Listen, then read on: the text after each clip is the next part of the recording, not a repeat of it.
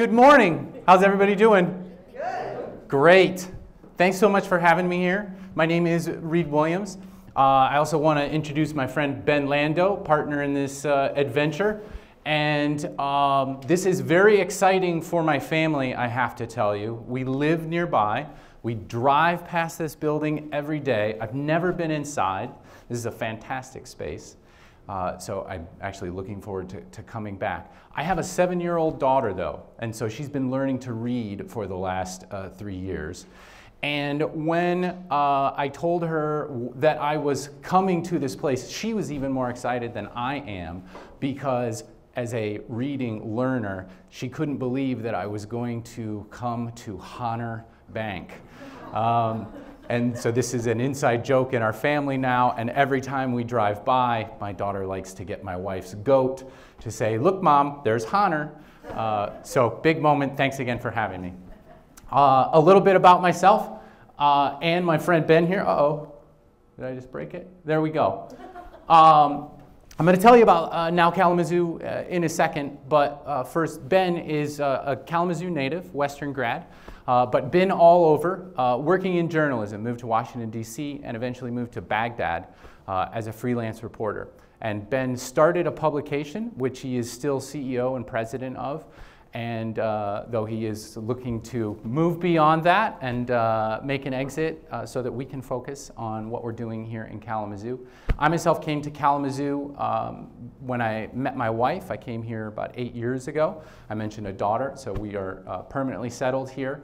Uh, I, uh, the most interesting thing that I can tell people about myself is that I am a former whitewater raft guide. I traveled all over this hemisphere uh, getting paid to take people over waterfalls. So if you want some crazy uh, river stories, I can tell you those.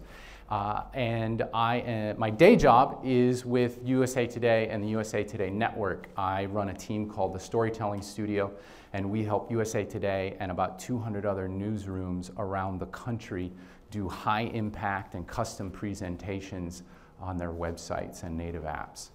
So, what uh, do we want to talk about today? Why, why do I want to tell you about Now Kalamazoo? Uh, there are multiple ways to look at this problem. One of them is, you know, from my perspective, that graph that, uh, on this slide is the bad news for me. Uh, in the last 30, 40 years, the number of working journalists has gone down precipitously. That is not necessarily a problem of you or the, the people out in the, in the community, but there are other problems that are exacerbated by that fact. And I can, if you're interested and, and not a believer, I can bring all kinds of empirical research that shows what happens to communities when they become news deserts, when they lose outlets of local news and information. Uh, things as interesting and peculiar as municipal finance costs going up, not just the things you'd expect like reduced voter turnout and reduced civic engagement. So we want to fix that. And that's what Now Kalamazoo is all about. Uh, so in 2019, Ben was motivated to address what we saw as a growing problem of the information ecosystem here in, in Kalamazoo.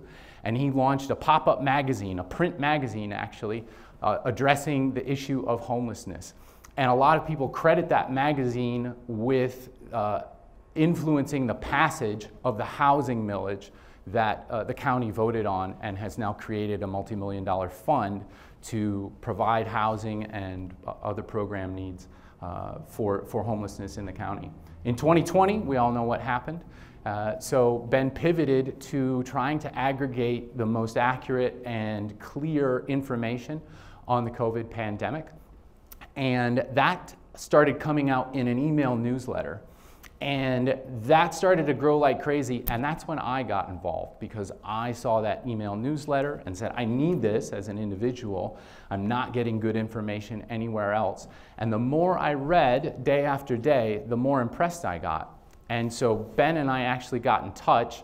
And I said, you know what? I have a, a daughter just getting into the school system here. I uh, am an entrepreneur here uh, in Kalamazoo in addition to my day job, and I need more and better information. So, how can I help make that happen? So in 2021, we started adding coverage topics, local businesses, entrepreneurs like the people here in this room, restaurants, investigations, and so on. And last year, we hired a managing editor as the first full-time employee of the organization. We continue to grow. We've got over 1,700 email uh, newsletter subscribers at this point. That is our primary product, though we do have a, a website. We have donors, many of them recurring. We are uh, earning grants and other sources of funding to help increase the amount of coverage that we're able to offer.